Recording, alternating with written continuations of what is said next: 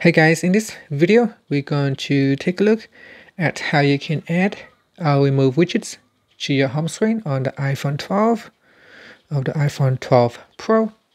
So first, let's go back to your home screen by swiping up at the bottom of the screen.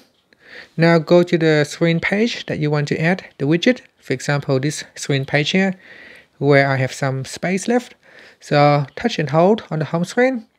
Once you start to see all the icons uh, starting to wiggle, tap on the add button at the top left corner.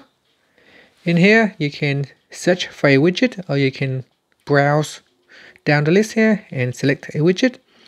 Once you have found your widget, simply touch and hold and then drag it out onto your home screen. Now try to place it where you want to place it on the home screen. And let's say I want to place it down here, then let go. Okay, so the widgets appear just to want wanting to go to the top. So I see if I can try to uh, edit the widget. So if I try to, um, so if I try to touch and hold and see if I can move it, so edit home screen. Let's see if I can try to move it somewhere else.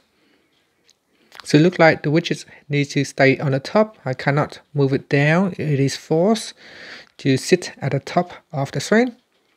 Okay, so let be it.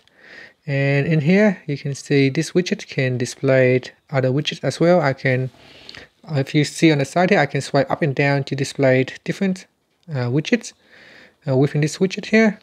So if I touch and hold and then tap on the add button, this top widget here seems to be not a weather widget, but uh, a multitask widget where it shows different things when you scroll up or down. And that's it. So that's how you can add a widget to the home screen. To remove the widget, just simply hold, touch and hold on the widget. From the pop-up, tap on remove stack.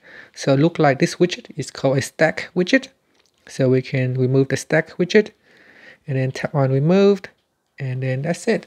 So that's how you can add or remove widgets to your home screen. Now again, there are uh, a lot of different widgets which you could choose from. There is also a clock widget here, a stack widget. So smart stack is called smart stack. Here we can add in a weather widget or a clock widget. And then I can just simply drag and place it on the home screen. And that's it. Thank you for watching this video. Please subscribe to my channel for more videos.